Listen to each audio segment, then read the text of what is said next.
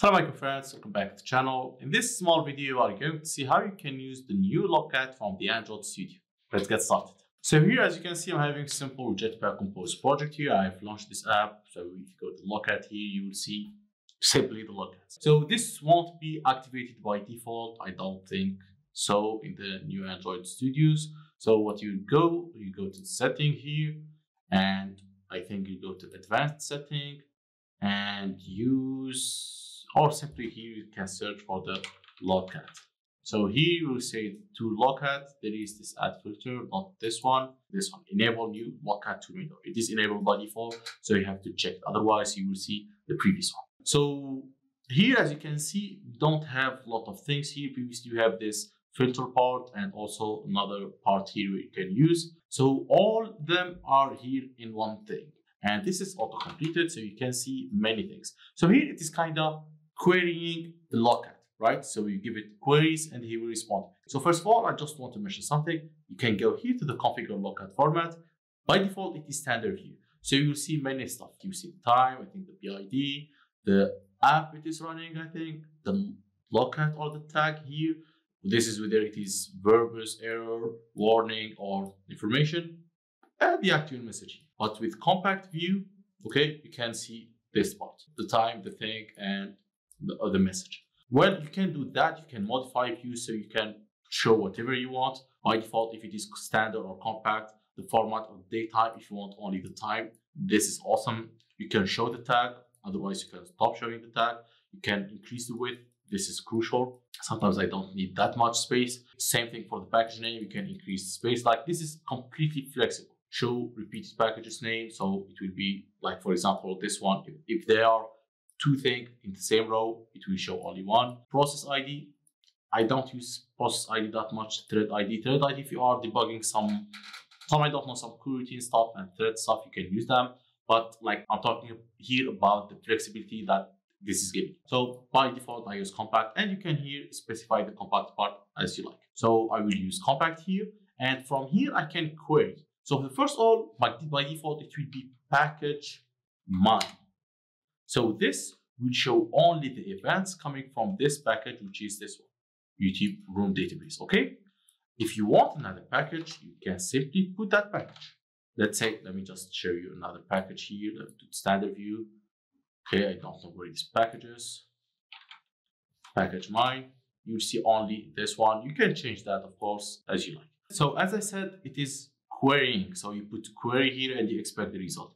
Let's say you want to query any text. Simply put the text here. If you want some system, something, you can do that. By the way, there is this two messages, process ended and process started.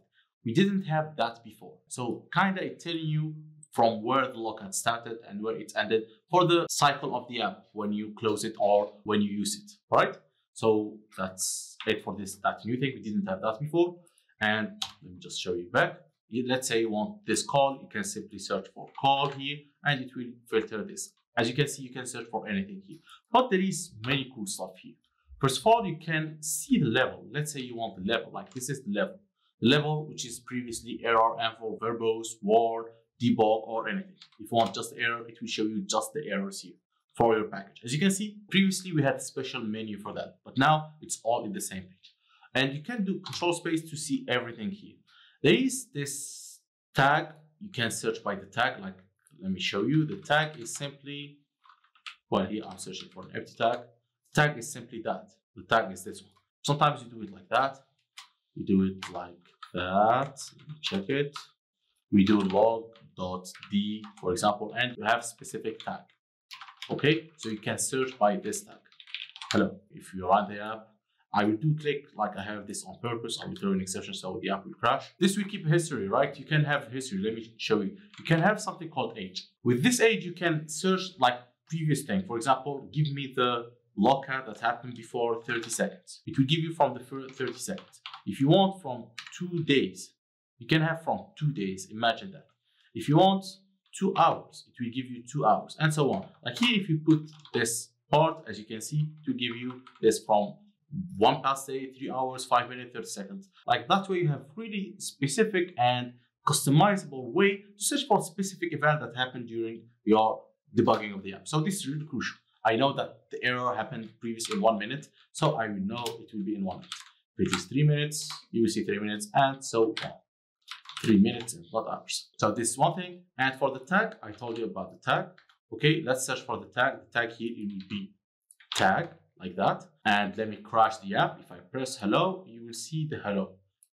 But you won't see the error because I'm searching for only the tag. If I delete that, I can search for the level error. I will see just the errors. I just crashed the app on purpose. Okay, and you will see here process ended.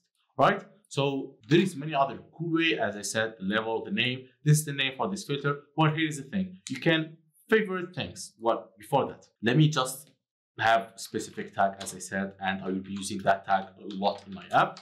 I can do this favorite part. I can click on it and so can use this query. And believe it or not, you have all the history for the previous logs. For example, here is some things I worked on barcode scanner, work order classification fragment, and so on. Okay, HTTP, this some debugging uh, things previously. So you can have this sort of history so you can go back to, or you can have this favorite. Like this is really good way. Another one is the S. If you go to here with the S, there is two things here only in the S. There is the crash and stack trace. Okay, if you are searching for just crashes, you will see only crashes, and this is also good filter, even if you don't have this error part. And I think it will also show us if we do stack trace. Yeah, exactly, because this is Java stack trace. Yeah, that would work also. And the final one, which is the naming. So let's say I have something that's called crash, and I want always to have this filter of crash. What I can do is name it like that, all errors. Let me just put everything together.